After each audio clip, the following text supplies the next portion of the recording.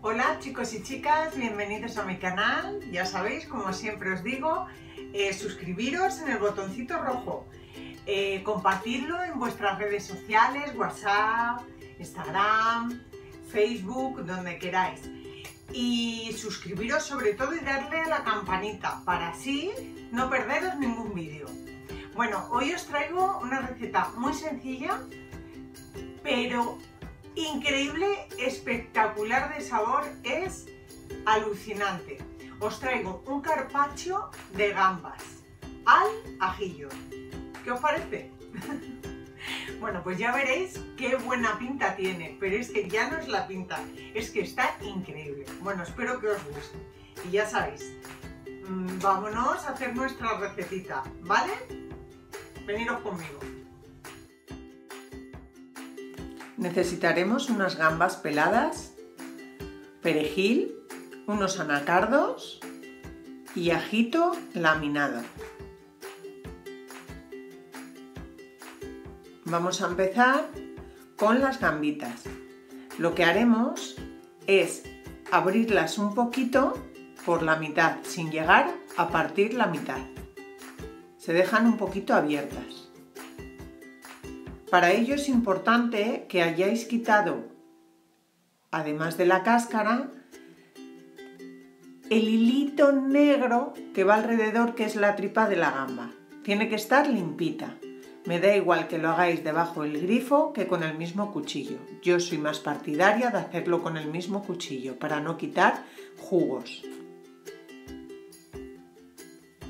Haciendo un círculo a ser posible casi perfecto. Es importante que la parte de la cabeza vaya hacia afuera, pues quedará mucho más bonito.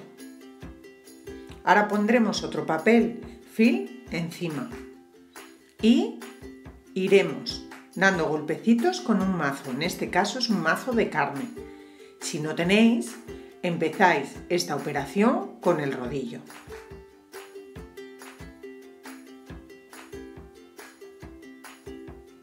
Hay que dejarlo súper, súper, súper fino. Extra fino. Cuanto más fino lo dejéis, más rico estará.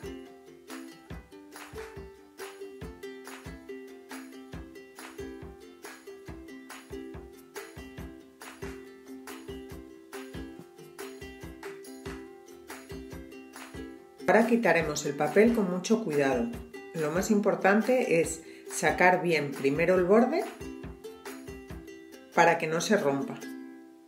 Es más fácil ponerlo encima del plato y subirlo después. El borde, como os digo, hay que sacarlo bien y después sale solo.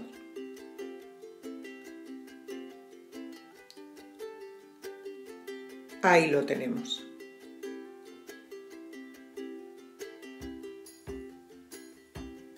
es dorar las láminas de ajo. Hay que dorarlo hasta el punto que quede doradito para que esté crujientito, pero que no se queme.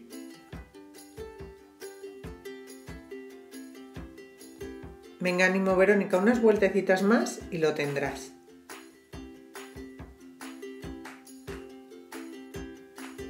Ahora, en este aparatejo nuevo, nunca lo he usado, ¿eh? es la primera vez, pondremos el ajito. Es importante que el ajo esté secado antes entre un papel de cocina para quitar la grasa y se quede crujiente. Si no tenéis esto, en un mortero se machaca. El aceite picual, importante que sea de buena calidad. Y lo repartimos por todo el carpacho. Rayamos el ajo encima Insisto, puede ser perfectamente en un mortero.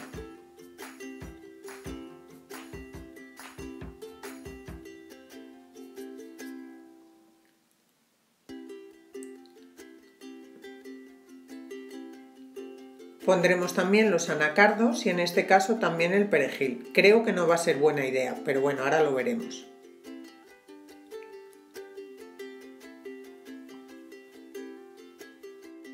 Como ese dicho no ha sido buena idea, con lo cual lo hacemos a cuchillo y ya está.